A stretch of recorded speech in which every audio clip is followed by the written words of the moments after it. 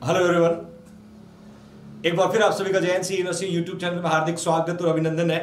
नमस्कार, आदाब, सत श्रीकाल वालेकुम एक नए टॉपिक के साथ नई एनर्जी और नई शुरुआत हम लोग करेंगे। नर्वस सिस्टम का नेक्स्ट इंपॉर्टेंट टॉपिक जो आज हम यहाँ डिस्कस करने वाले हैं, जैसा माइस्थीनिया ग्रेविस और वी गोल्ड फ्लैम डिज़ीज़ के नाम से प्रोनाउंस किया जाता है। और इस डिज़ीज़ में दो से तीन वो इंपॉर्टेंट एमसीक्यू जो लगभग हर किसी न किसी एग्ज़ाम को आप फाइट करने में आपको मदद करेगा। तो फटाफट लिंक को मैक्सिमम फ्यूचर नर्सिंग ऑफिसर तक शेयर करें ताकि आज की इस जर्नी में इंपॉर्टेंट टॉपिक को हम लोग स्टार्ट कर सके। लक्ष्मी, पूनम, सोनिया, ममता, किरण, विक्रम, अजय, विनोद नायक, अशोक कुमार, नविता, पूजा, गीता जाट, पुष्पेंद्र राहुल वैष्णव, संगीता चौधरी, प्रेमवती, लाखन अहिरवार, संगीता चौधरी, आप सभी को एक बार फिर से वेरी गुड इवनिंग आज की जर्नी स्टार्ट करने से पहले हमेशा की तरह जो सबसे ज़्यादा inquiry JNC nursing officer coaching Jodhpur में जिस कोर्स की रहती है, उसकी क्वारी क्लियर करते हुए हम आगे बढ़ते हैं। और लगातार कंप्लीट नर्सिंग ऑफिसर कोचिंग जो कोर्स है आ, इंडिया में आप सभी की तरफ़ से जो डिमांड लगातार बढ़ रही है वो कंप्लीट नर्सिंग कोचिंग का कोर्स जो है जेएनसी टीम के द्वारा प्रिपेयर किया गया है जिसमें कंप्लीट नर्सिंग सब्जेक्ट के साथ साथ research admin education pharma micro reasoning maths OT ICU previous five year paper unit wise test और पूरा डिटेल कंटेंट आप लोगों के लिए अवेलेबल है। मैं हमेशा कहता हूँ वन एग्ज़ाम एक exam for all competitive exam सभी कॉम्पिटेटिव एग्ज़ाम के लिए एक ही कोर्स आपको परचेज करना है और उस कोर्स से आप सभी एग्ज़ाम को क्रैक कर सकते हैं। और उस कोर्स की प्राइस जो है, आपने देखा होगा न्यू ईयर पे ऑफ़र चल रहा था बच्चों। ऑफ़र आज भी कंटिन्यू है। कल से ये ऑफ़र बढ़ करके आपकी जो फ़ीस होगी, वो सिक्स फोर डबल नाइन हो जाएगी। आज रात बारह बजे तक फाइव ट्रिपल नाइन अभी भी है। तो देर किस बात की? जल्दी से प्ले स्टोर पर जाइएगा। J I C Jodhpur app download करिएगा। ऐप को डाउनलोड करने के बाद बाय नाउ पे जाकर के कोर्स को परचेज करिएगा। लॉग आउट और लॉग इन करके अपनी स्टडी को आज से ही स्टार्ट कर सकते हैं। और अब तक लगभग 75 परसेंट सिलेबस आपका रिकॉर्ड हो चुका है और बहुत जल्दी कंप्लीट सिलेबस आपके ऐप पे अवेलेबल होगा। तो जेएनसी पे भरोसा बनाए रखने के लिए आप सबका एक बार तहे दिल से शुक्रिया। आज की जर्नी स्टार्ट करने से पहले हमेशा की तरह एक पॉजिटिव एनर्जी के साथ आगे बढ़ेंगे। और आज की जो एक पॉजिटिव एनर्जी का जो थॉट अपना रहेगा when the nail grow long जब आपका नेल जो है वो लॉन्ग ग्रो होते हैं we cut nail not finger simultaneously So similarly, when the misunderstanding grow up cut your ego, not your relationship that means जब नेल ग्रो होते तो नेल ग्रो होते तो हम नेल को कट करते। नेल को कट करते ना कि फिंगर को कट करना होता है इस तरीके से यदि आपकी लाइफ में किसी के प्रति मिसअंडरस्टैंडिंग ग्रो अप हो रही है।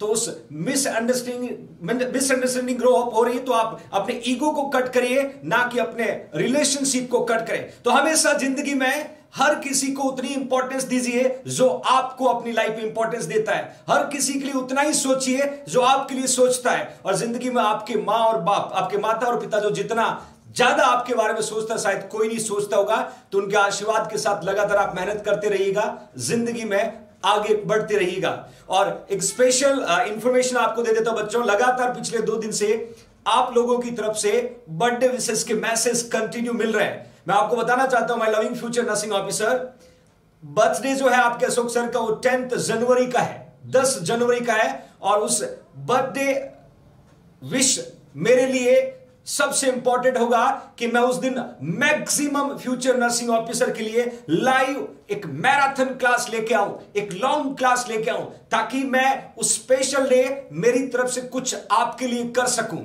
तो उस डे को स्पेशल बनाने के लिए मैक्सिमम फ्यूचर नर्सिंग ऑफिसर तक J I N C E nursing का लिंक शेयर करना है। और उस टेंथ जनवरी को एक स्पेशल क्लास के रूप में हम लोग सेलिब्रेट करेंगे, ताकि मैं उस दिन बहुत कुछ स्पेशल आप लोगों के लिए प्रिपेयर करूँ ताकि आप ज़िंदगी में दो कदम और आगे बढ़े। ये चार बजे की क्लास हमेशा की तरह कैरी ऑन रहेगी और टेंथ जनवरी को भी ये चार बजे ही क्लास स्टार्ट होगी। बट मेरी कोशिश होगी कि उस दिन इतना स्पेशल कंटेंट आप लोगों के सामने लेके आऊँ ताकि आपके सर का बर्थडे स्पेशल बन सके और मेरे लिए हमेशा आप सबसे स्पेशल होते बच्चों। तो मैं कोशिश करूँगा 10 जनवरी तक ये माहौल जो आप लोगों ने क्रिएट किया है, इसके लिए मैं तहे दिल से शुक्रिया अदा करता हूँ। बट याद रखना 5000 लाइव का टारगेट है बच्चों आपके लिए। और उस दिन टेंथ जनवरी को स्पेशल क्लास में 5000 फ्यूचर नर्सिंग ऑफिसर्स की लाइव प्रेजेंस, ये सबसे इंपॉर्टेंट है। आपके पास सेवन डेज़ बच्चे में। करिए धमाका, क्योंकि आप ही जेआईएनसी परिवार की आर्मी हो और आप ये कारनामा बखूबी कर सकते हो। इतना मुझे आप पे भरोसा है। तो इसी जर्नी को कैरी ऑन करते हैं आज। स्पेशल टॉपिक के साथ टॉपिक इज़ माइस्टीनिया ग्रेविस हम स्टार्ट कर रहे हैं। और माइस्टीनिया ग्रेविस नर्वस सिस्टम का एक स्पेशल टॉपिक है, ये न्यूरो का एक टॉपिक है, ये मसल्स के फ़ंक्शन का एक स्पेशल टॉपिक है। तो हम पढ़ना स्टार्ट करेंगे माइस्टीनिया ग्रेविस और जब कोशिश करेंगे माइस्टीनिया ग्रेविस में बनने वाले हर कॉम्पिटेटिव एग्ज़ाम के क्वेश्चन को थ्योरी के साथ हम डिस्कस करते हुए फर्दर बढ़ेंगे। ओके फाइन फटाफट आज के स्पेशल क्लास को लाइक करना ना भूले बच्चों। लाइक सब्सक्राइब और शेयर करना। ये आपकी मॉरल रिस्पॉन्सिबिलिटी है, क्योंकि डिसलाइक वालों का रिस्पॉन्ड जेआईएनसी आर्मी देती है, और जेआईएनसी आर्मी हमेशा लाइक बटन के साथ देती है बच्चों। माइस्थीनिया ग्रेविस में लिखा शॉर्ट में इसको एमजी बोलते हैं माइस्थीनिया ग्रेविस को, और इसी को हम बच्चों गोल्ड फ्लैम डिज़ीज़ के नाम से प्रोनाउंस करते हैं। ये पहला एमसीक्यू आपके सामने यहाँ पर मैंने पुट कर दिया है कि Goldflam disease nervous system में कौन सा होता है तो that we can say myasthenia gravis देखिए बच्चों माइस्टीनिया वर्ड जो है, वो बिलोंग करता है बच्चों मसल से। किससे बिलोंग करता है? मसल से। और ग्रेविस को हम बोल सकते हैं बच्चों सीवियरिटी क्या बोलते हैं? सीवियरिटी या वी कैन से सीवियर तो डेफिनेटली ये मसल का सीवियर डिसऑर्डर है। ऑटो इम्यून आपके बॉडी के इम्यूनिटी के द्वारा नेचुरल सेल और टिश्यूज को डिस्ट्रॉय करके मसल्स के फ़ंक्शन को लॉस करेगा। तो इस डिज़ीज़ को हम क्या बोलेंगे बच्चों? Myasthenia gravis okay will move further अब कुछ स्पेसिफिक पैरामीटर में यहाँ डिस्कस करूँगा। बेसिक एनाटॉमी के साथ हम आगे पढ़ेंगे।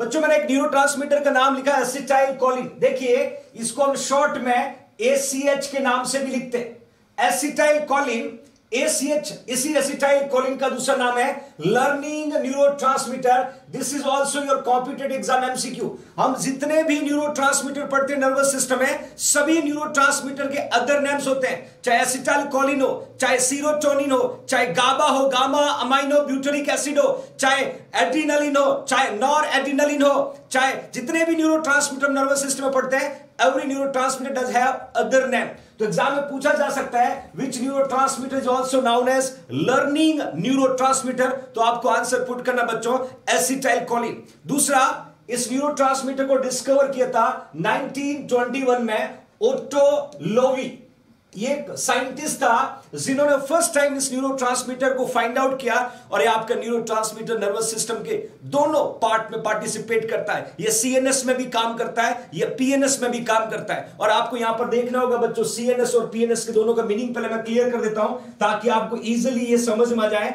जब भी हम नर्वस सिस्टम पढ़ते हैं तो नर्वस सिस्टम के अंदर मेनली दो डिवीज़न हम पढ़ते हैं। एक हम पढ़ते हैं बच्चों सेंट्रल नर्वस सिस्टम और दूसरा हम पढ़ते हैं पेरिफेरल नर्वस सिस्टम आप सभी को अच्छे से है सेंट्रल नर्वस सिस्टम हम मेनली क्या पढ़ते हैं बच्चों? ऑर्गन्स पढ़ते हैं। क्या पढ़ते हैं? ऑर्गन्स फॉर एग्ज़ाम्पल ब्रेन और स्पाइनल कॉर्ड और पीएनएस में हम क्या पढ़ते हैं बच्चों? नर्व पढ़ते हैं। क्या पढ़ते हैं? नर्व पढ़ते हैं। That everybody know very well PNS क्या करता है? इंफॉर्मेशन को लाके सेंट्रल नर्वस सिस्टम को देता है।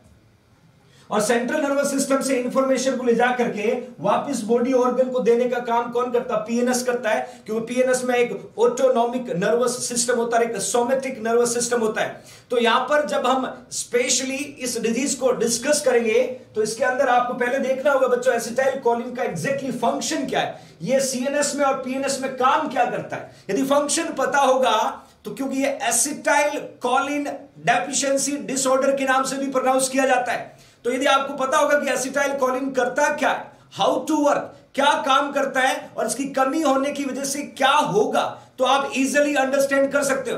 Almost we cross 1100 future nursing officer thanks India to trust और J I N C nursing officer coaching Jodhpur okay fine पहला फ़ंक्शन बच्चों, मैंने पेरिफेरल नर्वस सिस्टम लिखा है। Acetylcholine are responsible to activate muscle is a major neurotransmitter of autonomic nervous system. This is your competitive exam MCQ बच्चों. यदि आपको anus का major neuro transmitter पूछेंगे तो आपको एसिटाइल कॉलिन लिखना है और ये किसको एक्टिवेट करता है? मसल्स को एक्टिवेट करने का काम करता है। और स्पेशली मसल्स में भी बच्चों वॉलेंट्री मसल्स को एक्टिवेट करने का काम करता है। वॉलेंट्री का मतलब वो मसल्स जो अपन अपनी तरफ़ से फ़ंक्शन के लिए यूटिलाइज करते हैं। For example skeletal muscles for example facial muscles for example digestive system बहुत सारी ऐसी मसल्स मैं आपको बताऊँगा बच्चों। दूसरा, यदि इसी की हम बात करें सेंट्रल नर्वस सिस्टम में क्या काम करता है एसिटाइल कॉलिन तो सेंट्रल नर्वस सिस्टम में ये cholinergic projection from forebrain of cerebral cortex hippocampus support cognitive function of the specially देखिए बच्चों कॉग्नेटिव फ़ंक्शन ऑफ़ द दो टारगेटिंग एरिया कौन सा टारगेटिंग एरिया एक तो मैंने यहाँ पर फोर ब्रेन पुट किया, दूसरा सेरिब्रल याद रखना brain further classified into two forebrain midbrain hindbrain और फोर ब्रेन में कौन आता है? सेरिब्रल कॉर्टेक्स आता है हिप्पो आता है एमाइक डाला आता है। ये सारे पार्ट किसके हैं? ये फोर ब्रेन के पार्ट है। तो डेफिनेटली ये कॉग्निटिव फ़ंक्शन में पार्टिसिपेट करने का काम करता है। तो that we can say central nervous system but हम जब इस डिज़ीज़ को पढ़ेंगे तो हमें पीएनएस के फ़ंक्शन को ध्यान में रखना है। पीएनएस के फ़ंक्शन अकॉर्डिंग इस डिज़ीज़ को हम डिस्कस करेंगे my loving future nursing officer तो माइस्थीनिया ग्रेविस का मतलब सबसे पहले इसको मोटर डिसऑर्डर बोलते हैं। क्योंकि होगा क्या?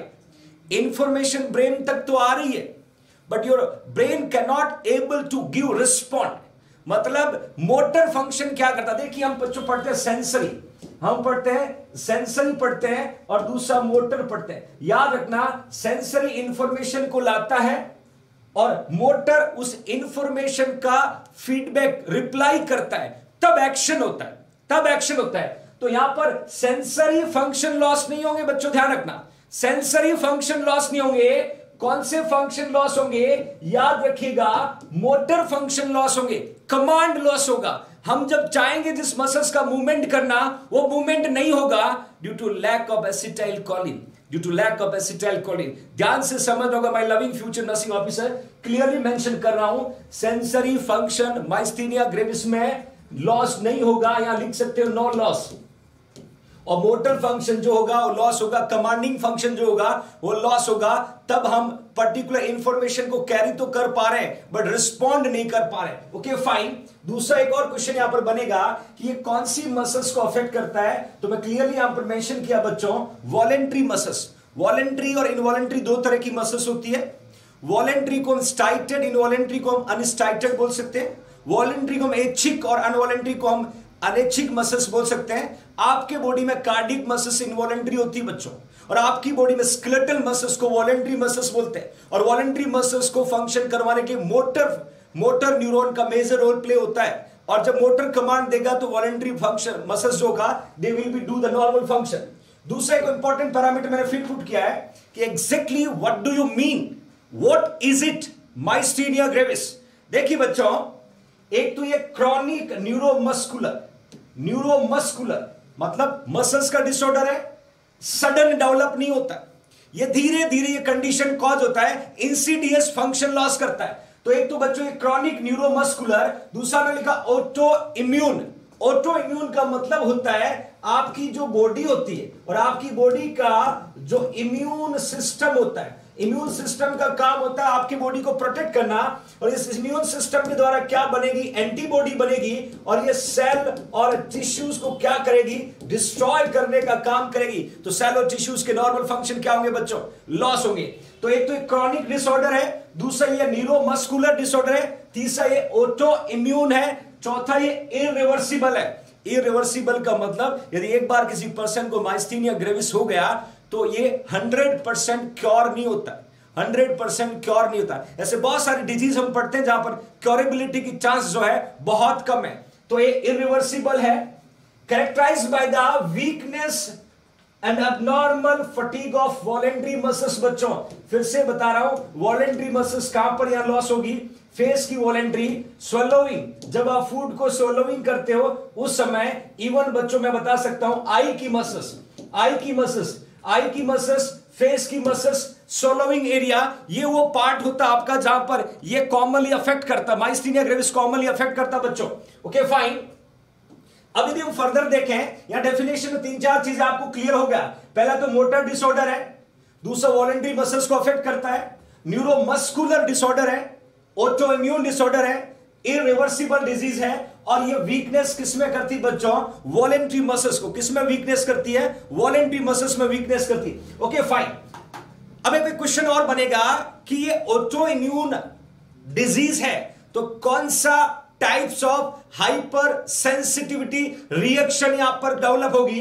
This is your competitive exam MCQ बच्चों। मैं क्लियरली मेंशन कर देता हूँ जब भी हम हाइपर सेंसिटिविटी रिएक्शन की बात करें तो मैंने यहाँ लिखा बच्चों टाइप टू मैं टाइप वन भी बताऊँगा टाइप थर्ड भी बताऊँगा टाइप फोर भी बताऊँगा। यहाँ मैंने पुट किया है type two type two hypersensitive reaction का दूसरा नाम है cytotoxic reaction this is your competitive exam MCQ directly पूछेंगे आपसे कि माइस्थीनिया ग्रेविस कौन से types of hypersensitivity reaction है? तो आपको आंसर क्या पुट करना होगा बच्चों? टाइप सेकेंड जैसे आप पढ़ते हो टाइप वन टाइप वन को क्या बोलते हैं बच्चों? एलर्जिक टाइप वन कौन सी होती है?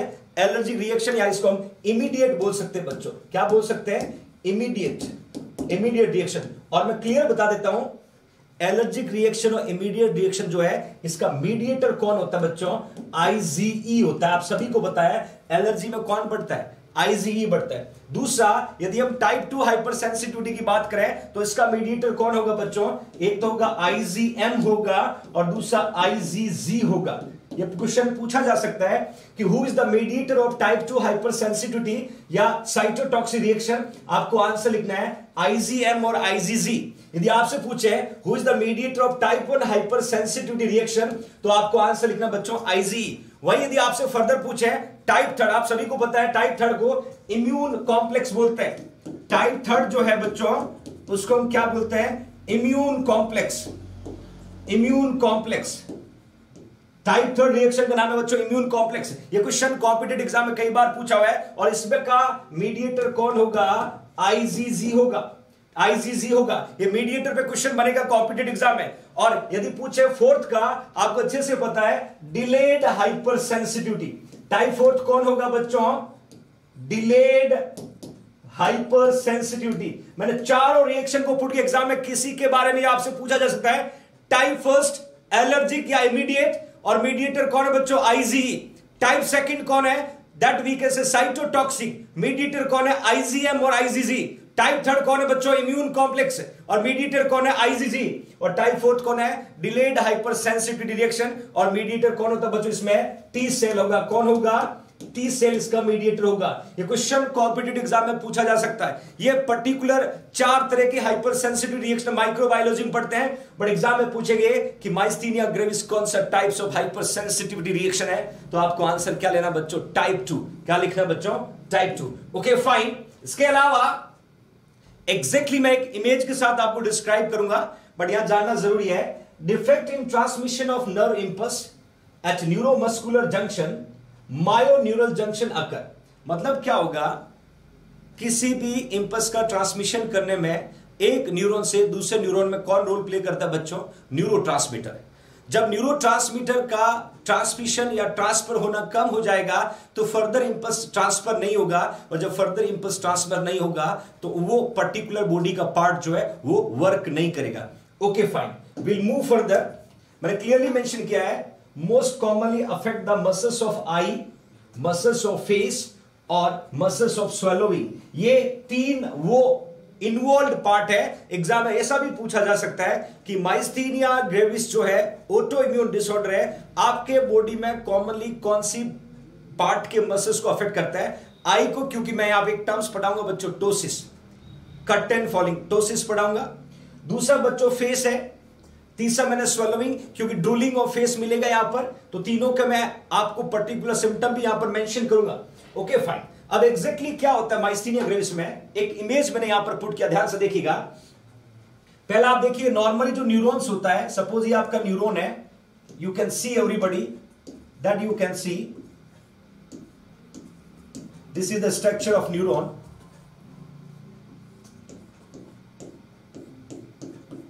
फिर आपका यहाँ से पर्टिकुलर दूसरा न्यूरोन स्टार्ट हो जाएगा। That again you can see this is the structure of neuron exactly क्या होता है my loving future nursing officer neuron का ये जो पार्ट है, इसको हम डेंड्राइट्स बोलते हैं। क्या बोलते हैं? डेंड्राइट्स बोलते बेटा।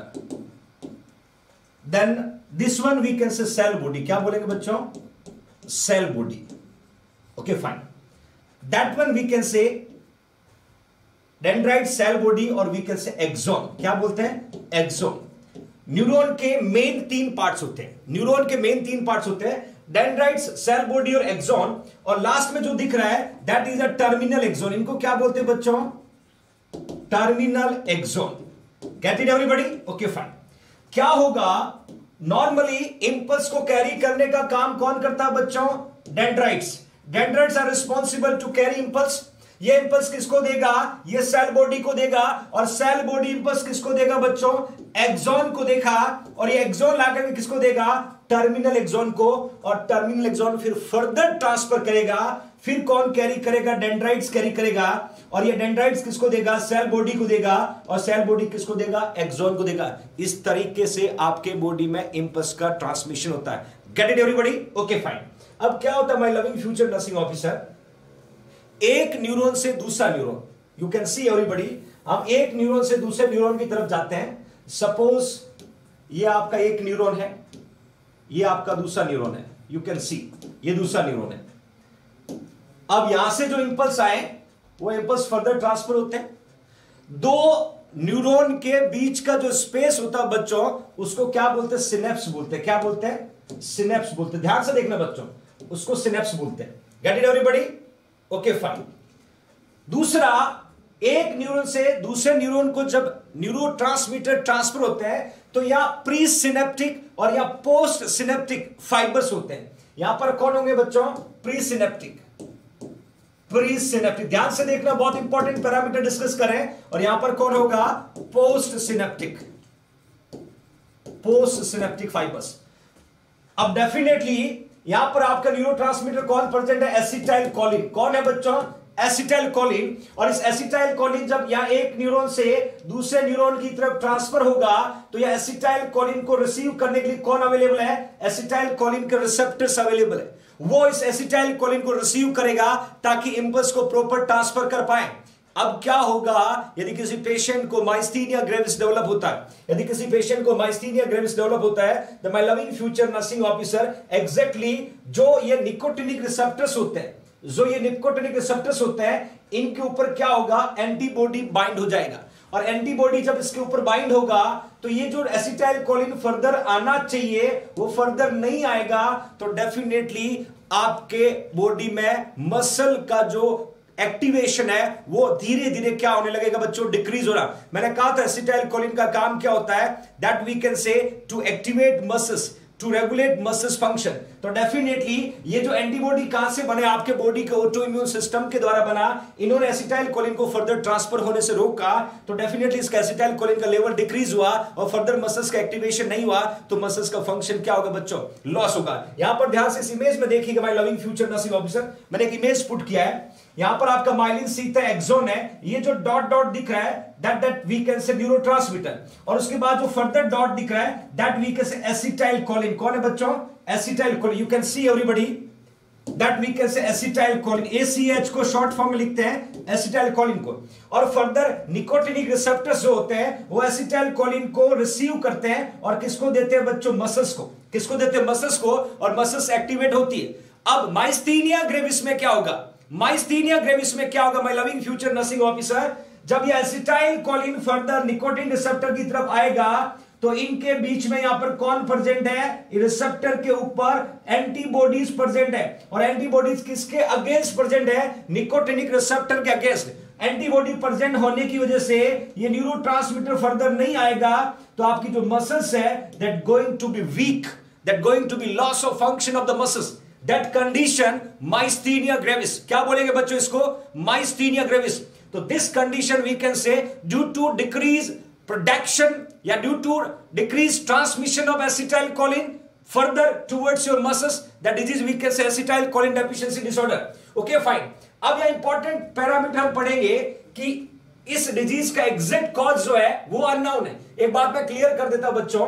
अननाउन का मतलब होता है नॉट नाउन नॉट नाउन बोल सकते हो या इडियोपैथिक बोल सकते हो। इडियोपैथिक बोल सकते हो। इडियोपैथिक बोल सकते हो। That we can say exact cause अभी भी कंफर्म नहीं है। कुछ रिस्क फैक्टर है। कुछ वो फैक्टर है they are responsible to contribute patient suffer with myasthenia gravis you can see everybody insufficient secretion of acetyl choline definitely acetyl choline का सिक्रीशन उतना नहीं होगा जितना मसल्स को फ़ंक्शन के लिए चाहिए। तो यहाँ पर पेशेंट की फ़ंक्शन मसल्स के फ़ंक्शन क्या होंगे बच्चों? लॉस होंगे।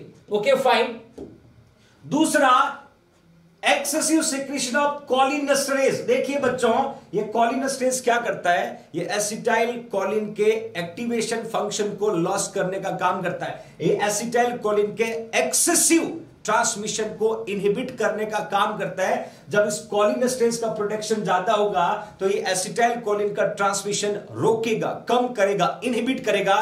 तो मसल्स को एसिटाइल कॉलिन नहीं मिलेगा और एसिटाइल कॉलिन नहीं मिलेगा। Muscles can not able to do the normal function इसके अलावा इसके अलावा कैल्शियम डेफिशिएंसी क्या होता है बच्चों? जब यहाँ से न्यूरो जो है, यहाँ से जो न्यूरो है, ये फर्दर जब ट्रांसफ़र होते हैं तो यहाँ पर कौन चाहिए बच्चों? कैल्शियम आप अच्छा आपको अच्छे से पता calcium responsible to transmission of impulse calcium का काम होता है नर्व इंपल्स को ट्रांसफ़र करना और यदि कैल्शियम की कमी होगी तो डेफिनेटली इंपल्स फर्दर ट्रांसफ़र नहीं होंगे और इंपल्स ट्रांसमिशन नहीं होंगे तो मसल्स वीकनेस डेवलप होगा मसल्स फटीक डेवलप होगा. ओके okay, फाइन इसके अलावा further defect in post synaptic receptor site देखिए यहाँ पर ध्यान से देखिएगा my loving future nursing officer ये प्री सिनेप्टिक होता है ये पोस्ट सिनेप्टिक होता है। जब पोस्ट सिनेप्टिक जो साइट होगा, जो इस एसिटाइल कोलिन को रिसीव नहीं कर पा रहा है एक्सेप्ट नहीं कर पा रहा है तो डेफिनेटली एसिटाइल कोलिन नहीं जाएगा तो पेशेंट को किसकी कमी होगी बच्चों यहाँ पर? एसिटाइल कोलिन की। इसके अलावा फर्दर क्या हो सकता है? फर्दर क्या कंट्रीब्यूट हो सकता है? यू कैन सी थाइमोमा देखिए बच्चों थाइमोमा जो है, ये थाइमस ग्लैंड का कैंसर है। ध्यान से देखिएगा। ये थाइमस जो ग्लैंड है, उसका कैंसर है। थाइमस ग्लैंड का कैंसर है। आपको अच्छे से पता होगा जो आपकी thymus gland my loving future nursing officer thymus gland का काम है टू प्रोटेक्शन ऑफ़ थाइमोसिन किसको प्रोटेक्शन करती बच्चों? थाइमोसिन और थाइमोसिन का काम है to activation of T lymphocyte thymosin क्या करता है बच्चों? Activation activation of T lymphocyte ये बहुत ध्यान से पढ़ना होगा my loving future nursing officer thymus gland जो है, वो थाइमोसिन हार्मोन का सिक्रीट करती है। और थाइमोसिन हार्मोन क्या करता है? एक्टिवेट करता है टी लिम्पोसाइट और आपको अच्छे से पता है टी लिम्पोसाइट क्या करता है? ये बी लिम्पोसाइट को बोलता है कि बेटा एंटीबॉडी को जनरेट करो। जब टी लिम्पोसाइट का एक्सेसिव प्रोडक्शन होगा तो बी लिम्पोसाइट क्या करेगा? एक्सेसिव एंटीबॉडी का प्रोडक्शन करेगा। जब एक्सेसिव एंटीबॉडी का प्रोडक्शन होगा तो पेशेंट को ऑटो इम्यून डिसऑर्डर डेवलप होगा। एक और मैकेनिज्म हो सकता है। एक और मैंने मैकेनिज्म हो सकता है। मैं क्लियरली आपको मेंशन कर रहा हूँ। यू कैन सी एवरीबॉडी इस पे क्वेश्चन बन सकता है। कॉम्पिटेटिव एग्ज़ाम पर्पज से। आगे मैं क्वेश्चन भी पूछूँगा। यहाँ पर देखिए, दो तरीके से अफेक्ट करता है। ये जो आपका थाइमस ग्लैंड याद रखना बच्चों, जो थाइमस ग्लैंड है थाइमस ग्लैंड का काम था बच्चों protection of protection of thymosin thymosin और इस थाइमोसिन हार्मोन का काम है activation of activation of T lymphocyte of T lymphocyte बच्चों। ये टी लिम्पोसाइट को एक्टिवेट करने का काम करता है। और आपको अच्छे से पता है टी लिम्पोसाइट का काम क्या होता है? Give information to the B lymphocyte ये किसको इंफॉर्मेशन देता है? बी लिम्पोसाइट को। और क्या बोलता है कि यू विल प्रोड्यूस एंटीबॉडी किसको प्रोड्यूस करना एंटीबॉडी क्योंकि बी लिम्पोसाइट का काम है प्रोडक्शन ऑफ़ एंटीबॉडी और टी लिम्पोसाइट का काम है work as a carrier between micro organism और बी लिम्पोसाइट दूसरा, ये क्या करेगा बच्चों? ये जो थाइमोसिन है, ये फर्दर किसको प्रोड्यूस करता है? Thymopoietin. You can see thymopoietin. और ये थाइमोपोइटिन क्या करता है? ये डिस्ट्रक्ट करता है एसिटाइल कॉलिन रिसेप्टर को। ये क्या करेगा बच्चों? ये डिस्ट्रक्ट करेगा। किसको? Acetyl choline receptor. ध्यान से देखना बच्चों एसिटाइल कॉलिन रिसेप्टर को डिस्ट्रक्ट करेगा तो definitely further acetyl choline transfer नहीं होगा और ट्रांसफ़र नहीं होगा तो पेशेंट को माइसिनिया ग्रेविस हो जाएगा। तो दो तरीके से अफेक्ट करता। ये मैं इसलिए बार बार बता रहा हूँ क्योंकि जब मैं आपको इन्वेस्टिगेशन पढ़ाऊँगा तो वहाँ पर थाइमस ग्लैंड में थाइमोमा थाइमोमा का जब पता लगाना होता है तो हम बच्चों सिटी स्कैन करेंगे। क्या करेंगे? इसका सिटी स्कैन जो है, वो इंपॉर्टेंट इन्वेस्टिगेशन है to find out patient suffer with thymoma और thymoma responsible can cause myasthenia gravis get it everybody इस तरह के क्वेश्चन आपको कॉम्पिटेटिव एग्ज़ाम में पूछे जा सकते हैं। मैं हमेशा कहता हूँ डिटेल में भी जाओगे तो एक एक वो पॉइंट आपको मिलेगा जो आप एग्ज़ाम में फाइट कर सकते हो। एग्ज़ाम में आपको सॉल्व करने में मदद करें। इसलिए मैं हर पॉइंट को वहाँ को रिलेट करने की कोशिश कर रहा हूँ। कहीं से भी क्वेश्चन आपको पूछे you have capability to solve the MCQ और यही कोशिश होती है टीम जेएनसी की। जेएनसी हमेशा ये कोशिश करती है कि उस पर्टिकुलर टॉपिक में जहाँ जितने एमसीक्यू बन सकें वो आप तक पहुँचाए। आप उनको क्रैक करें, सॉल्व करें और कंपटीशन को फाइट करके गवर्नमेंट जॉब तक पहुँचना बच्चों। मैं माइस्टीनिया ग्रेव्स में बनने वाले लगभग 50 टू 60 एमसीक्यू डायरेक्टली इनडायरेक्टली आपको बताऊँगा। और मैं पूरी उम्मीद करता हूँ, इस डिज़ीज़ को फिनिश करने के बाद you will feel yourself confident never try to never try to feel we can say हार गया। कभी हारा हुआ महसूस नहीं करना। हमेशा एक ही जुर्म रखना yes I can do I will do I have capability to do मैं कहता हूँ, बच्चों, अपने आप को उस पेन वाली सिचुएशन में पुट करो। दर्द महसूस करो। पाँच बजे उठना शुरू करो। पाँच बजे उठना शुरू करो। दूसरा, किसी भी पर्टिकुलर किसी पर्टिकुलर पर्सन को यदि लाइफ में यदि आप इंपॉर्टेंस देते तो ज़रूर दीजिए। मैं इसके एक एग्जांपल आपको पुट करना चाहता हूँ। मैं लविंग फ्यूचर नर्सिंग ऑफिसर आपने कई बार चैट में पढ़ा होगा। तालिब भाटी, जो कहते हैं कि big fan star fan JINC online classes का स्टार फ़ैन जिसको कहते हैं, लगातार हर कमेंट्स में, हर डिज़ीज़ में, हर क्लास में आपने देखा होगा उनकी परजेंस और आज उनकी जेएनसी की प्रति हॉनेस्टी जेएनसी की प्रति हंगर और जेएनसी परिवार का मेंबर होने के नाते उन्होंने आज जेएनसी जोधपुर आकर के प्रूव किया है कि यस यदि हम चाहें तो हम कुछ भी कर सकते हैं। तो मैं आपसे दो मिनट के लिए मैं मिस्टर ताली भाटी से मुलाकात करवाता ऑनलाइन ताकि आपको भी महसूस हो कि आपका साथी यदि डिसाइड कर लिया कि मैं अशोक सर, हनुमान सर के पास जाके आशीर्वाद लूँगा तो कितने भी किलोमीटर क्यों ना हो, हज़ारों कोस की दूरी पे क्यों ना हो, जब उसने डिसाइड कर लिया, मुझे जाना तो यहाँ पर चल के आए। तो मैं मुलाकात करवाता हूँ ताली भाटी से। आइए मेरा बच्चा। आपको उस स्टार फ़ैन को दिखाना चाहता हूँ। Good evening all the he is the ताली भाटी और आप लोग बहुत सारे डायरेक्टली इनडायरेक्टली इनकी परजेस टॉप चैट में देखते होंगे। हर क्वेश्चन का बड़ा बारीकी से आंसर देते हैं। उसके आसपास जितने भी क्वेश्चन बनते हैं वो भी ये पुट करने की कोशिश करते हैं। तो मैं एक मिनट दूँगा तालिब के लिए। तालिब ने क्या सोचा? किस सोच के साथ यहाँ पर पहुँचे? क्या लाइफ में जेएनसी को मानते हैं? उसके बाद क्लास को कैरी ऑन करेंगे my loving future nursing officer मैं आप सभी से यही कहना चाहता हूँ कि आप जो फुल कोर्स है, उसे परचेज करें और अपने नॉलेज को बूस्ट करें। जो मेरे मेरे के अंदर इम्प्रूवमेंट है, वो सारा फुल कोर्स है। मैंने एक महीने में फुल कोर्स कंप्लीट किया है और आई थिंक मैं अब हर एग्ज़ाम क्लियर कर सकता हूँ। तो मेरी आप सबके लिए यही थिंक है कि आप सब फुल कोर्स परचेज करें और ज़्यादा से ज़्यादा टाइम अपना फुल कोर्स को दें। और आपका सलेक्शन श्योर है जे आई एन सी है तो सलेक्शन श्योर है। Thank you thank you thank you so much तालीम और इसी तरीके मैं जैन सी फ़ैन से आपकी मुलाकात करवाता रहूँगा। ये इनका कभी कभी क्या होता है, बच्चों, जब हज़ारों बच्चों के सामने हम एकदम आ जाते हैं तो थोड़ा सा वो डर, वो फियर होता है बट मैं हमेशा आप लोगों के साथ हूँ। घबराना कभी भी नहीं। चलते रहना, आगे बढ़ते रहना। थैंक यू सो मच तालीम तो इस तरीके जो भी जेएनसी के सुपर फ़ैन होंगे, उनसे आपकी मुलाकात करवाता रहूँगा। जो जेएनसी परिवार में पहुँच करके अपना सपना पूरा करते हैं यहाँ आके मुलाकात करते हैं। मैं तहे दिल से ताली भाटी का शुक्रिया अदा करता हूँ, जिन्होंने जेएनसी का कंप्लीट कोर्स लिया, पिछले तीन मंथ से लगातार हार्डवर्क कर रहे हैं और उसका नतीजा आने वाले एग्ज़ाम में आपको मिलेंगे बच्चों। Okay fine thank you India to trust on J I Jodhpur तो हम यहाँ पर बात कर रहे थे बच्चों इटियोलॉजिकल फैक्टर क्या क्या हो सकते हैं? एग्जैक्ट कॉज यहाँ पर अननाउन है। दूसरा, मैंने insufficient secretion of acetyl choline यहाँ पर आपको पुट किया है। उसके अलावा एक्सेसिव सिक्रीशन ऑफ़ कॉलिनस्टेज यहाँ पर पुट किया है। Then calcium deficiency then defect in the post synaptic receptor and thymoma these are the risk factor responsible can cause myasthenia gravis get it देखिए बच्चों ये सुपर फ़ैन को जेएनसी की live class में आके आज से बात करने का मौका मिलता है और हमेशा हम हर स्टूडेंट के लिए बेस्ट करने की सोचते हैं ताकि आप महसूस करें कि जेएनसी हमारा परिवार है और अशोक सर हमारे पेरेंट्स है, हमारे टीचर है, हमारे मेंटर है। मेरी कोशिश होगी, हर सिचुएशन में आपके साथ खड़ा रहूँ। चाहे वो संकट हो, चाहे खुशी का माहौल हो। Dinesh donating forty rupees to the JNC poor student fund thank you so much Dinesh okay fine will move further हम नेक्स्ट स्पेसिफिक क्लिनिकल मैनिफेस्टेशन की तरफ़ बढ़ना चाहेंगे बच्चों। यहाँ पर ध्यान से देखिएगा। एक टर्म्स मैंने पुट किया टोसिस और यहाँ पर आप लिख लीजिएगा very very very very very important ये 200 परसेंट आने वाला एमसीक्यू है। कई बार एग्ज़ाम में पूछा हुआ है।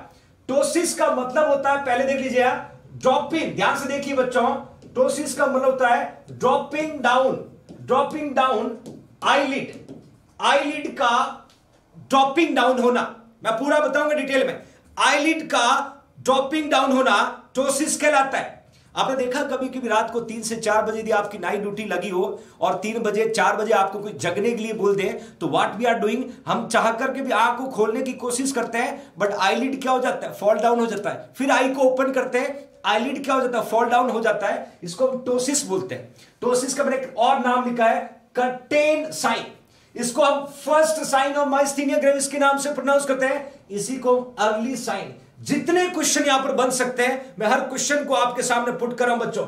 एग्ज़ाम में early sign of myasthenia gravis पूछे तो टोसिस लिखना। एग्ज़ाम में first sign of myasthenia gravis पूछे तो टोसिस लिखना।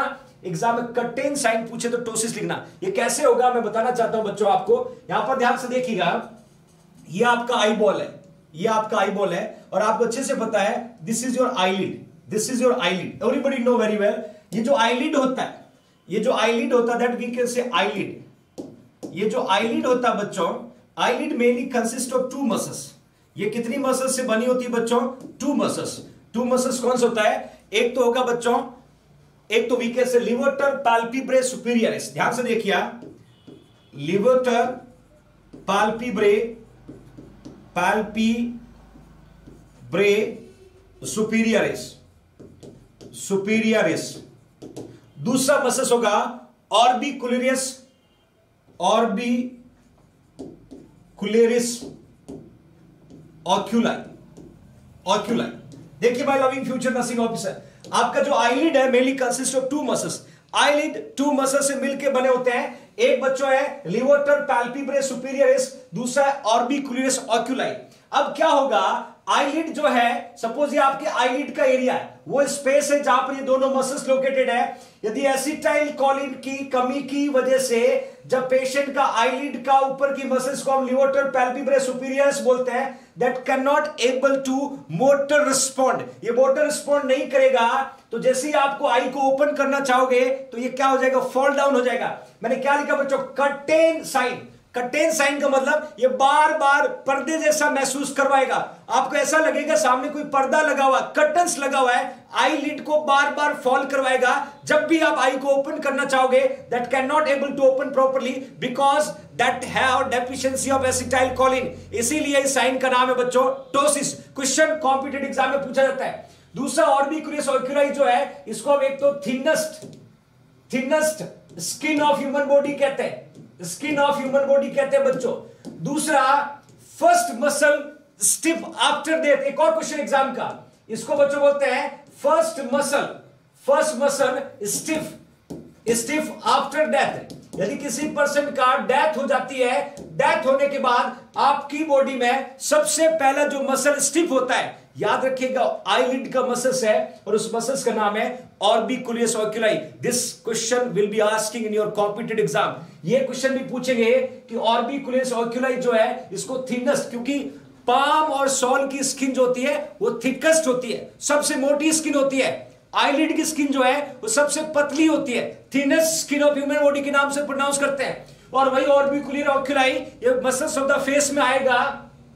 और ये डेथ होने के बाद सबसे पहली मसल्स है जो स्टिप होना स्टार्ट होता है। और यहाँ पर मैंने लिखा बच्चों लिवोटर पैल्पिब्रे सुपीरियरिस इस मसल्स के अंदर यदि एसिटाइल कोलिन की कमी की वजह से जब पेशेंट वॉलेंट्री आईज को ओपन करना चाहेगा बट पेशेंट की आईलिड क्या हो जाएगा? फॉल डाउन हो जाएगा ड्रॉपिंग डाउन हो जाएगा, उसको हम टोसिस बोलते क्या बोलते हैं बच्चों? टोसिस कटेन साइन क्यों बोलते हैं? Again always you can feel that is a curtain around the eyes आँख के आगे पर्दे की जैसा महसूस होगा। इसलिए हम इसको कर्टन साइन बोलते हैं, इसी को हम फ़र्स्ट साइन बोलते हैं, इसी को हम अर्ली साइन बोलते हैं। और आगे मैं एक पढ़ाऊँगा ई एम जी इलेक्ट्रोमायोग्राम वो भी एक पर्टिकुलर इन्वेस्टिगेशन होगा इस तरह की कंडीशन को आइडेंटिफाई करने के लिए। Okay fine will move further will move further उसके अलावा मैंने बच्चों कहा, यदि पेशेंट को आई अफेक्ट होता है आई मसल्स तो डिप्लोपिया हो सकता है double vision you can see double vision और ये इस पिक्चर में आपको दिख रहा होगा that we can say double vision आपको एक साथ डबल दिखना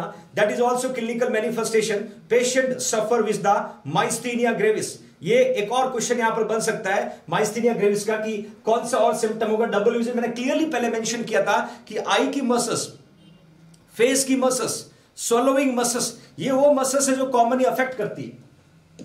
एक और स्पेसिफिक साइन मैंने यहाँ पर पुट किया, बच्चों, ध्यान से देखिएगा। हैंगिंग जॉ साइन ध्यान से देखना बच्चों। हैंगिंग जॉ साइन देखिए, दो पिक्चर यहाँ पर पुट किया। पहले पिक्चर के अंदर पेशेंट ठीक लग रहा है नॉर्मल लग रहा है। और दूसरे में हैंगिंग जॉ का मतलब नीचे का जबड़ा जो है ऐसे लटक जाएगा। हैंगिंग जॉ क्यों होगा? क्योंकि फेस और swallowing मसल्स जब अफेक्ट होगी due to myasthenia gravis the patient can not able to like that इस तरीके से हो जाएगा जॉ जो है हैंग हो जाएगा. You can see everybody this picture will be indicating that is a hanging jaw ये क्लिनिकल मैनिफेस्टेशन माइस्थीनिया ग्रेविस का, क्योंकि स्पेसिफिक सिम्टम के बारे में क्वेश्चन पूछते हैं. एग्ज़ाम के अंदर जब भी कोई क्वेश्चन पूछा जाता है, इस तरीके से पर्टिकुलर सिम्टम पुट किया होगा और आपको आइडेंटिफाई करना होगा बच्चों. Okay fine that we can say hanging jaw आगे मैं फर्दर आपको ट्रीटमेंट मॉडलिटी से पहले जब क्लिनिकल मैनिफेस्टेशन को और डिटेल में डिस्क्राइब करूँगा तो बहुत सारी चीज़ें बताऊँगा। कितना एम mm जो है, ये आईलिड ड्रॉप डाउन होता है। नॉर्मली हम जब भी पढ़ते हैं, यदि आईलिड की बात करें तो आईलिड जो है, ये 2 एम mm से लेके 6 एम mm तक, लगभग ये फर्दर ड्रॉप डाउन होता है। कोई पूछ सकता है कि आपको कितने एम mm जो है आईलिड आगे की ओर ड्रॉप डाउन होता है? तो 2 एम mm से लेके 6 एम mm 2 प्लस बोल सकते हो 6 प्लस बोल सकते हो। ये नॉर्मली ये ड्रॉपिंग डाउन का डायमीटर मैक्सिमम यदि जाए तो हम 8 mm तक कंसीडर कर सकते हैं बट एग्जैक्टली वैल्यू जो पूछेंगे, वो 2 mm टू लेके 6 mm तक क्वेश्चन कॉम्पिटेटिव एग्ज़ाम में पूछा जा सकता है। ओके फाइन इसके अलावा फर्दर यदि हम देखें बच्चों नेक्स्ट अदर सिम्टम क्या होंगे? अदर सिम्टम क्या होंगे? You can say weakness and fatigue weakness और फटीक किसमें होगा बच्चों? स्पेशली मसल्स में होगा। उसके अलावा डिफिकल्टी चिविंग देखिए, मैंने कहा था चिविंग चिविंग जो पार्टिसिपेटिव मसल्स होती है, उसमें डिफिकल्टी क्यों होगा? Due to weakness due to weakness और जब वीकनेस चिविंग होगा तो पेशेंट को डिफिकल्टी इन स्वेलोइंग होगा। डिस्पेजिया का मतलब होता है difficulty in swallowing difficulty in swallowing का मतलब होता है, बच्चों, निगलने में दिक्कत। मैंने कहा था, यहाँ अफेक्ट होता है तो निगलने में दिक्कत होगा। My loving future nursing officers okay इसके अलावा यदि रेस्पायरेटरी सिस्टम तक पहुँच जाता है तो ये हॉर्स वॉइस याद रखना बच्चों, जब हम पढ़ते हैं लैरिंग्स जब हम पढ़ते हैं लैरिंग्स लैरिंग्स का दूसरा नाम होता है बच्चों वॉइस बॉक्स क्या होता है? वॉइस बॉक्स और लेरिंजियल मसल्स जब लेरिंजियल मसल्स इन्वॉल्व हो गया और लेरिंजियल मसल्स के अंदर यदि एसिटाइल कोलिन की कमी आ रही है तो पेशेंट की वॉइस बदलेगी। और कैसा होगा बच्चों? हॉर्स वॉइस फाइंड आउट होगा ऑल्सो इंडिकेट आपने हॉर्स वॉइस पढ़ा होगा डीपनिंग वॉइस पढ़ा होगा गिगांटिज्म जब ग्रोथ हार्मोन की कमी होती है सॉरी एक्सेसिव प्रोडक्शन होता है, उस समय आपने पढ़ा होगा। तो हॉर्स वॉइस यहाँ पर हो सकता है। इसके अलावा further difficulty in breathing respiratory system definitely involve होगा। डिमिनिश ब्रीथ साउंड, जब रेस्पिरेटरी सिस्टम के इन्वॉल्व होगा तो लंग्स का कॉन्ट्रेक्शन और रिलैक्सेशन इंपैक्ट होगा बिकॉज़ इंटरकोस्टल मसल्स पार्टिसिपेट करती है। उसके अलावा रेस्पायरेटरी पैरालाइसिस अगेन एक इंपॉर्टेंट क्लिनिकल मैनिफेस्टेशन है। पेशेंट का रेस्पायरेटरी फेलियर हो जाएगा। रेस्पायरेटरी पैरालाइसिस होगा, क्योंकि इंस्पायरेशन एक्सपायरेशन जो है when you are taking respiration जब आप इंस्पायरेशन एक्सपायरेशन नहीं कर पाओगे तो डेफिनेटली आपके बॉडी में या लंग्स में स्पेशली सीओ टू का लेवल बढ़ जाएगा और पेशेंट को रेस्पिरेटरी एसिडोसिस डेवलप होने लगेगा। तो ये वो अदर सिम्टम है जो माइस्थीनिया ग्रेविस वाले पेशेंट क्योंकि जहाँ मसल्स का इन्वॉल्वमेंट है, वहाँ मसल्स के फ़ंक्शन लॉस होते ही इस तरीके के क्लिनिकल मैनिफेस्टेशन फाइंड आउट होने लगेंगे। My loving future nursing officer तो these are the other participative clinical manifestation अब बात आती है कि हाउ कैन डायग्नोस्ड पेशेंट को कैसे पता लगाओगे कि इसको माइस्थीनिया ग्रेविस है? देखिए बच्चों, मैं एक एक उस इन्वेस्टिगेशन को बताना चाहूँगा जहाँ एमसीक्यू बनता है जब क्वेश्चन कॉम्पिटेटिव एग्ज़ाम में पूछा जा सकता है। हमें पता लगाना है कि पेशेंट की मसल वीक है। हमें पता लगाना है कि पेशेंट की मसल वीक है तो किसकी कमी की वजह से वीक है? एसिटाइल कॉलिन की कमी की वजह से वीक है। तो कैसे फाइंड आउट करेंगे? यू कैन सी एवरीबडी यहाँ मैं मेंशन किया बच्चों हिस्ट्री फ़िज़िकल एग्जामिनेशन देखिए फ़िज़िकल एग्जामिनेशन में हम यदि देखेंगे फर्दर तो आपको यहाँ पर क्या क्या मिलेगा बच्चों? एक तो टोसिस मिलेगा। एक तो आपको यहाँ पर टोसिस मिलेगा। उसके अलावा फर्दर हम देखेंगे बच्चों टोसिस के अलावा आपको दैट वीक से डिप्लोपिया मिलेगा डबल विजन मिलेगा, ये सब फ़िज़िकल एग्जामिनेशन में। हिस्ट्री क्यों ज़रूरी है? क्योंकि मैंने कहा था बच्चों, ये ऑटो इम्यून डिज़ीज़ है। कौन सी डिज़ीज़ है बच्चों? ऑटो इम्यून डिज़ीज़ है। और ऑटो इम्यून डिज़ीज़ यदि किसी फैमिली मेंबर को है तो its probability to will be transfer to the further generation हो सकता है। इसके अलावा इसके अलावा ईएनजी बच्चों, एक सुना आपने निस्टागमस निस्टागमस निस्टागमस का मतलब होता है involuntary movement of eye involuntary movement of eye movement of eye आपने सुना होगा डांसिंग वर्ड यूज़ किया होगा। आई जो है डांसिंग ऑफ़ आई भी बोल सकते हैं।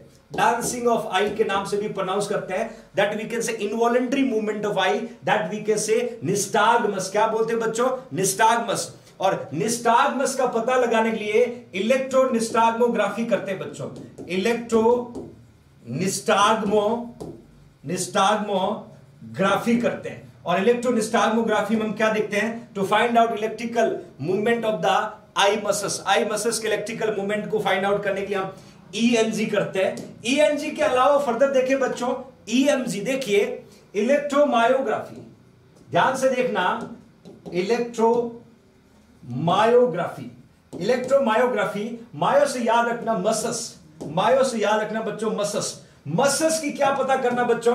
Electrical activity electrical activity activity of मसस और इलेक्ट्रिकल एक्टिविटी ऑफ़ मसल्स का पता लगाने के लिए हम क्या करते हैं बच्चों? ईएमजी e करते हैं। देखिए छोटी छोटी वो बातें मैं आपके साथ शेयर कर रहा हूँ। जब क्वेश्चन कॉम्पिटेटिव एग्ज़ाम में कई भी, कई बार पूछ गया है ईएमजी इलेक्ट्रोमायोग्राफी और इलेक्ट्रोमायोग्राफी का काम है to find out electrical activity of muscles जैसे मसल्स की इलेक्ट्रिकल एक्टिविटी का पता लगाना है।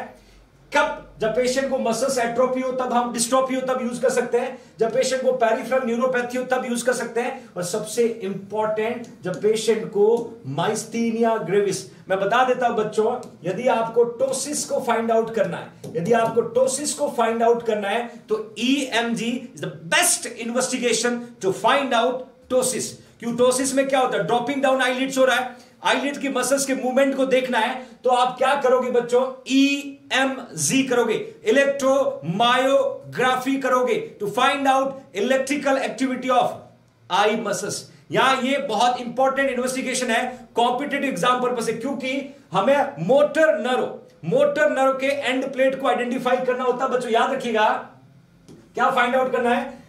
एंड प्लेट या motor nerve end plate of we can say end plate of neuromuscular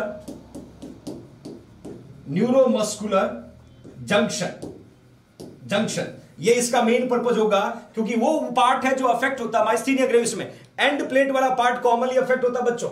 okay fine इसके अलावा फर्दर हम इन्वेस्टिगेशन की बात करें एक्सरे कर सकते हैं एमआरआई कर सकते हैं पीईटी कर सकते हैं. पॉजिट्रॉन इमिशन टोमोग्राफी ये वो कॉमन इन्वेस्टिगेशन है अदर इन्वॉल्वमेंट को फाइंड आउट करने के लिए। बट यहाँ पर मैंने लिखा, बच्चों CT of thymus gland to find out thymoma this is again your competitive exam MCQ यदि थाइमोमा का पता लगाना, मैंने कहा थाइमोमा का बच्चों? थाइमस ग्लैंड कैंसर ये। थाइमस ग्लैंड जो है थाइमस ग्लैंड कैंसर है, और थाइमस ग्लैंड कैंसर का पता लगाना है तो थाइमस ग्लैंड का इन्वॉल्वमेंट में हमें सिटी करेंगे। क्या करेंगे, बच्चों? CT scan is the best investigation to find out patient suffer with the thymoma एक और बात क्लियर कर देता हूँ एक्सरे जो हमेशा पढ़ते हैं वन डायमेंशनल होता है सिटी जो है टू डायमेंशनल होता है एमआरआई जो है थ्री डायमेंशनल होता है। तो हम थाइमोमा में सिटी स्कैन को प्रीफर करते हैं। ये क्वेश्चन कॉम्पिटेटिव एग्ज़ाम में कई बार पूछा जा चुका है बच्चों कि यदि पेशेंट को थाइमोमा है तो which is the investigation will help to identify तो आपको आंसर लिखना है CT scan okay fine okay fine will move further इसके अलावा ये वो कॉमन इन्वेस्टिगेशन है बट एग्ज़ाम में जो क्वेश्चन आएगा, वो आएगा बच्चों विच इज़ द डेफिनेटिव डायग्नोसिकुलेशन मेन इन्वेस्टिगेशन कौन है? तो आपको आंसर लिखना बच्चों एंड्रोफोनियम टेस्ट या टेंसिलोन टेस्ट यहाँ लिख लीजिएगा very very very very very very important exam purpose of you से सीधा क्वेश्चन आएगा बच्चों। क्या पूछेंगे कि टेंसिलोन टेस्ट या एंड्रोफोनियम टेस्ट किसमें करते हैं? तो आपको आंसर लिखना है माइस्थीनिया ग्रेविस में करते हैं। किसमें करते हैं बच्चों? Myasthenia gravis. क्योंकि ये टेस्ट बताएगा कि आपके बॉडी में एसिटाइल कॉलिन की कमी है या एसिटाइल कॉलिन का ट्रांसमिशन नहीं हो पा रहा है, ये कौन बताएगा बच्चों? ये टेंसिलोन टेस्ट बताएगा। ये क्वेश्चन कई बार कॉम्पिटेटिव एग्ज़ाम में पूछा हुआ है, इसलिए मैं बार बार यहाँ पर फोकस कर रहा हूँ। My loving future nursing officer edrophonium test या टेंसिलोन टेस्ट अब इसका तरीका बताऊँ। ये टेस्ट करते कैसे? ये जानना आपको बहुत ज़रूरी है क्योंकि क्वेश्चन में पूछेंगे अमाउंट कितना देना है रिज़ल्ट कितने टाइम बाद देखना है, क्या रिस्पॉन्स आएगा? तो पेशेंट को हम कहेंगे इसको माइस्थीनिया ग्रेविस है ध्यान से सुनिएगा बच्चों, ध्यान से सुनिएगा। यहाँ मैंने मेंशन किया है, आपको इंजेक्ट करना है टेंसिलोन टेंसिलोन जो है, ये कॉलिनर्जिक सब्सटेंस है। टेंसिलोन जो है, ये कॉलिनर्जिक सब्सटेंस ये भी मैं क्लियर कर देता हूँ बच्चों that we can say cholinergic cholinergic substance होगा बच्चों। टेंसिलोन कितना देना है? Two to ten mg IV इसमें भी डिवीज़न है। इसमें भी डिवीज़न है। दो से दस मिलीग्राम इंट्रावेस्कुलर देना है बट आपको पहले बच्चों सिर्फ़ दो एमजी ही देना। और यदि कोई भी चेंजेस नहीं आया तो आपको अगला आठ एमजी एडमिनिस्टर करना है। क्या करना है? सपोज़ सपोज़ आपने पेशेंट को आईवी आपको अच्छे से पता है कि आईवी जब भी हम देते हैं आईवी ज़ीरो से सिक्सटी सेकेंड्स के अंदर इफ़ेक्ट जनरेट कर देता है। कोई भी ड्रग हम पेशेंट को देंगे, वो लगभग ज़ीरो से सिक्सटी सेकेंड तक अपने उस ड्रग का रिस्पॉन्ड आपको बता देगा कि ये ड्रग काम करे कि नहीं कर। रही इसीलिए जब भी हम पेशेंट को टू एमजी पहले दिया और टू एमजी के बाद रिस्पॉन्ड आने लगा, किसका? आईलिड के मसल्स का। बॉडी पार्ट का फॉर एग्ज़ाम्पल मैंने कहा आपको कि पेशेंट मैंने कहा, आपको यह हाथ ऊपर उठाना है यह हाथ को फ्लेक्स करना है। आप नहीं कर पा रहे हैं। और जैसे ही आपको टेंसिलोन ड्रग गई और धीरे धीरे आप फ्लेक्स करने लगे, इसका मतलब एसिटाइल कॉलिन की कमी को पूर्ति करने के लिए टेंसिलोन काम करना स्टार्ट कर दिया है। और ये जैसे ही आपको फ्लैक्स होने लगेगा, इसका मतलब किसकी कमी थी? एसिटाइल कॉलिन की थी। तो इसलिए याद रखना, पहले 2 mg देना है और 2 mg से रिस्पॉन्ड नहीं करता है तो फर्दर 8 mg देना है। टोटल इसका minimum dose 2 mg maximum 10 mg लिखा है। मैंने बच्चों रूट भी लिखा है। रूट भी लिखा my loving future nursing officer okay fine अब जैसे ही आपने पेशेंट को टेंसिलोन लगाया, लगाने के sudden sudden temporary improvement in your muscle strength onset है थर्टी सेकेंड और last five to ten minute मतलब ये ड्रग देने के तुरंत बाद 30 सेकेंड में यदि वॉलेंट्री मसल रिस्पॉन्ड करने लग गई my loving future nursing officer इसका मतलब और क्लियर कर रहा है कि टेंसिलोन टेस्ट मतलब पेशेंट को एसिटाइल कॉलिन की कमी थी। तो ये ऑनसेट ड्यूरेशन पूछेंगे तो 30 सेकेंड में रिस्पॉन्ड करने लगेगा और जब मैक्सिमम पूछेंगे, ये last five to ten minute तक आपको वेट करना। मैंने एक इमेज यहाँ पर पुट किया हुआ, आपको क्लियर बताऊँगा बाद में। दूसरी बात, अब क्या करना my loving future nursing officer जैसे ही पेशेंट रिस्पॉन्ड करेगा मतलब muscles if the elevated eyelid indicate that your may have myasthenia gravis मतलब अब आप आईलिड को जो टोसिस था, उसमें आईलिड को एलिवेट करने लग गए, इसका मतलब आपको किसकी कमी थी बच्चों? एसिटाइल कॉलिन की थी। किसकी थी? एसिटाइल कॉलिन एक और बात क्लियर करता हूँ। ये फ़र्स्ट पिक्चर को आप देखेंगे, ध्यान से, यहाँ पर पेशेंट को टोसिस दिख रहा है। यहाँ पर पेशेंट को टोसिस दिख रहा है। और जैसे ही आपने पेशेंट को क्या दिया? टेंसिलोन दिया। तो यहाँ पर टोसिस जो है, वो ठीक हो गया।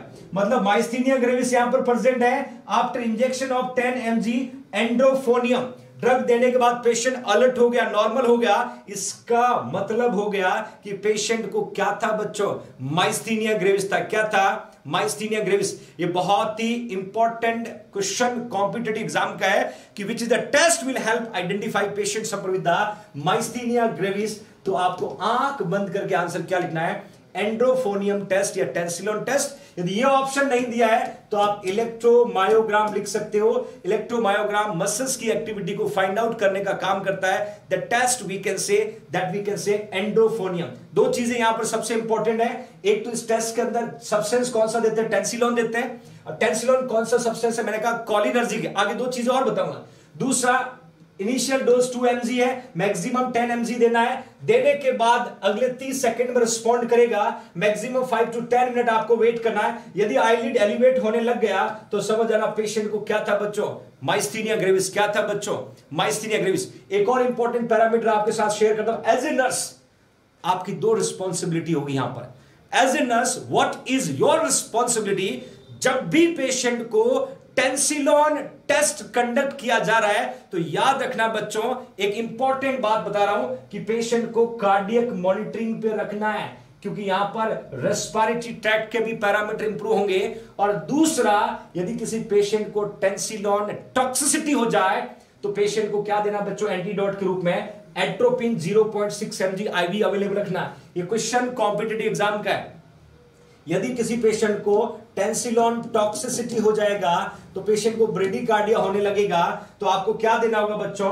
एट्रोपिन अवेलेबल रखना 0.6 एमजी और इंट्रावीनस देना है। ये इंपॉर्टेंट पैरामीटर है कॉम्पिटेटिव एग्ज़ाम के पर्पज से। Always you should kept atropine sulphate. आपको अच्छे से पता है एट्रोपिन आप यूज़ करते हो पेशेंट के स्पेशली प्यूपिल डायलेशन में भी यूज़ करते हो माइडाटिक्स के रूप में। एट्रोपिन हम ब्रेडिकार्डिया को ट्रीट करने में भी यूज़ करते हैं और atropine as a antidote of tensilon का फॉर्म में भी हम यहाँ यूज़ करेंगे। यदि किसी पेशेंट को टेंसिलोन टेस्ट किया जा रहा है तो डियर नर्सेस का काम है you should kept atropine sulphate zero 0.6 mg कौन से रूट से देना बच्चों? आईवी कौन से रूट से देना है? आईवी तो इस तरीके से आपको कॉम्पिटेटिव एग्ज़ाम में पूछा जा सकता है एंडोफोनियम टेस्ट के बारे में टेंसिलॉन टेस्ट के बारे में। I hope you will put the right answer every future nursing officer okay fine अब बात आती है इस पे एक क्वेश्चन बने हैं। दो क्वेश्चन मैं पूछूँगा, जो एग्ज़ाम में आए हुए हैं। एक डेली एम्स का क्वेश्चन है बच्चों, एक ईएसआईसी का क्वेश्चन है। और उन दोनों क्वेश्चन में क्या पूछा गया है, मुझे पूरी उम्मीद है यहाँ पर आप गलत नहीं करेंगे, फिर हम फर्दर चलेंगे। फर्दर टेस्ट के बारे में पढ़ेंगे। ध्यान से देखिएगा क्वेश्चन क्या है? The neurologist is a conducting tensilon test neurologist tensilon test को कंडक्ट कर इसका नाम है bed side of the patient who is experiencing unexplained muscle weakness double vision difficulty in breathing and ptosis which finding after the administration of endorphonium would represent the patient has myasthenia gravis. मतलब जो मैंने test आपको पढ़ाया है, उस test में क्या पूछा है कि एक पेशेंट जो था, उसको टेंसिलोन टेस्ट कंडक्ट किया जा रहा है और उस पेशेंट के सिम्टम क्या थे? टोसिस था बच्चों वीकनेस था डबल विजन था डिफिकल्टी इन ब्रीथिंग थी। तो कौन सी फाइंडिंग इंडिकेट करेगा कि पेशेंट को माइस्थीनिया ग्रेविस प्रेजेंट था? यू कैन सी एवरीबडी पहला लिखा बच्चों ए मैंने ऑप्शन पुट किया है। The patient experiencing worsening of the muscle weakness मतलब मसल वीकनेस और बढ़ जाना नेवर मसल वीक का बढ़ जाना, वो इंडिकेट नहीं करता टेंसिलोन टेस्ट के रिज़ल्ट को. बी में लिखा the patient experiencing wheezing along with facial flushing मैंने कहा था लंग्स साउंड डिमिनिश हो जाता है डिक्रीज हो जाता है. तो यहाँ पर डेफिनेटली वीजिंग एक्सपीरियंस नहीं होगा. The patient report the tingling sensation in the eyelid and sudden ringing into the ear. आपको याद होगा बच्चों tinnitus. आपको याद होगा tinnitus. और डी में लिखा है the patient experiencing improve muscle strength patient के मसल की स्ट्रेंथ को इंप्रूवमेंट मिला तो हम कह सकते हैं कि पेशेंट का टेस्ट था वो पॉजिटिव बच्चों, सोच के आंसर लिखना राइट आंसर पुट करने के लिए सोचना, दो बार क्वेश्चन को पढ़ना, गलत मत करना। गलत मत करना बच्चों, ध्यान से पढ़ना आंसर नहीं आए तो वेट करें। But I hope you will put the right answer your future nursing officer आपको देखना है टेंसिलॉन टेस्ट का रिज़ल्ट कौन सा इंटरवेंशन ये इंडिकेट करेगा कि पेशेंट को टेंसिलोन टेस्ट की रिज़ल्ट पॉजिटिव आया? मतलब उसको माइस्थीनिया ग्रेविस था तो अभी इंप्रूवमेंट आ रहा है। कौन सा intervention A B C D चार ऑप्शन आपके सामने। बड़ा एमसीक्यू है, उतना ही आसान है बच्चों। जितना क्वेश्चन बड़ा दिख रहा है, उतना ही आसान है। फटाफट आंसर पुट करेंगे लगभग more than eleven hundred future nursing officer class को अटेंड कर रहे हैं। या ऑलमोस्ट बच्चों ने डी लिखा है। क्या बात है। Yes that that I want from your side that I want कैसा भी क्वेश्चन आ जाए, कितना भी बड़ा क्वेश्चन आ जाए, आप कैपेबल बन जाओ, उसका आंसर निकालेंगे। मेरा एक ही कोशिश होगी, आपको वहाँ तक नहीं छोड़ूँगा, जब तक आप सेलेक्ट ना हो जाए। आपको कैपेबल बनना है, आपको फाइटर बनना है छोटी छोटी कमियों को दूर करना है। क्वेश्चन को दो बार पढ़ना, ये डेली हैबिट्स बना लो। कभी भी, कितना भी इजी क्वेश्चन क्यों ना हो, दो बार पढ़ना जब आप क्वेश्चन के अंदर यह पता लगाना में कामयाब हो गए कि what question want to ask you question आपसे क्या पूछना चाह रहा है? मैं आपको लिख के दे रहा बच्चों हंड्रेड परसेंट आपके ब्रेन में आंसर जनरेट हो जाएगा और आप कभी गलत नहीं करोगे। और जब तक आपको यह समझ में नहीं आएगा क्वेश्चन ने पूछा क्या है तो कभी सही भी नहीं होगा। इसीलिए पूरे क्वेश्चन में उस पॉइंट को आइडेंटिफाई करना है कि what the patient what the question want question क्या चाह रहा है? और जैसे ही आपको पता चलेगा आप 100 परसेंट राइट आंसर पुट करेंगे।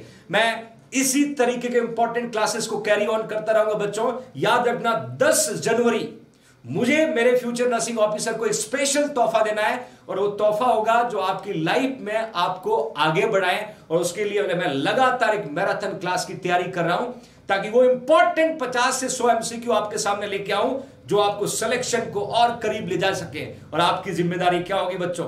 5000 live your responsibility to make pandemic your J N C nursing YouTube channel to show your potential to show your honesty, to, to elaborate your channel, to spread everywhere.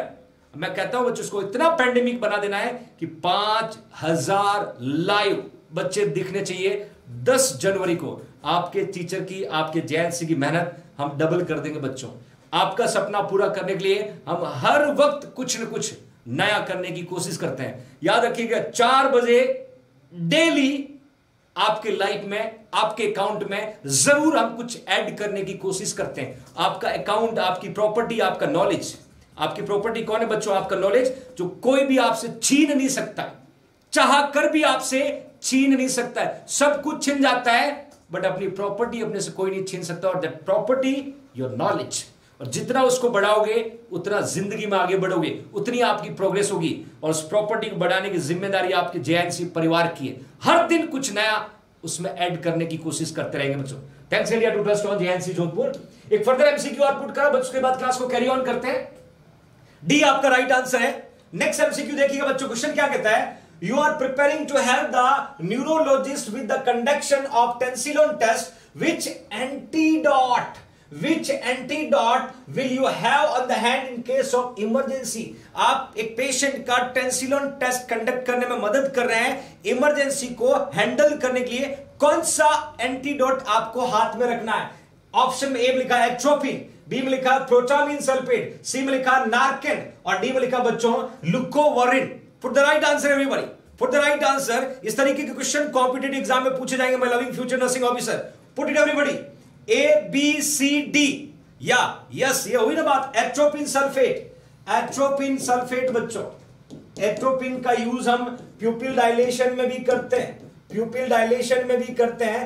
Atropine का use हम बच्चों ब्रेडी cardia को treat करने में भी करते हैं. और यही एट्रोपिन किसका एंटीडोट का काम कर रहे हैं यहाँ पर? यदि टेंसिलोन टेस्ट की करते समय टेंसिलोन की टॉक्सिटी हो जाए तो हम एट्रोपिन सल्फेट तो आप बिल्कुल इस तरीके के क्वेश्चन को सॉल्व कर सकते हो बच्चों।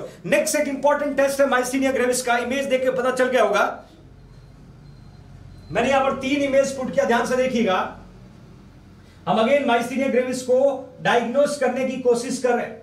यहाँ पर पेशेंट की अफेक्टेड आई कौन सी बच्चों? राइट आई कौन सी आई अफेक्टेड है? राइट आई राइट आई में आपको क्या दिख रहा है बच्चों? टोसिस राइट आई में आपको क्या दिख रहा है? Ptosis that you can see everybody that you can see everybody right eye में आपको टोसिस दिख रहा है। अब हम कैसे फाइंड आउट करेंगे कि पेशेंट को टोसिस था? इस टेस्ट का नाम है बच्चों आइस पैक टेस्ट और ये स्पेशली किसके लिए करते हैं बच्चों? टोसिस के लिए करते हैं। नाम से पता चल गया होगा आइस पैक टेस्ट अब आइस पैक टेस्ट में कैसे क्या करेंगे? आपको बर्फ़ लेना आइस लेना है। अप्लाइड करना अफेक्टेड अपर आईलिड दो से पाँच मिनट तक।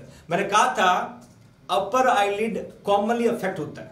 और अपर आईलिड पे आइस को अप्लाई करना है टाइम कितना आपके पास? टू टू फाइव मिनट ये आइस कैसे वर्क करती, मैं आपको ये बताना चाहता हूँ। कैसे फाइंड आउट करती कि पेशेंट को क्या था बच्चों? Gravis two to five minute आपने आइस पे सॉरी आईलिड पे आइस को अप्लाई किया then A positive test is improvement of the ptosis by more than 2 mm or more.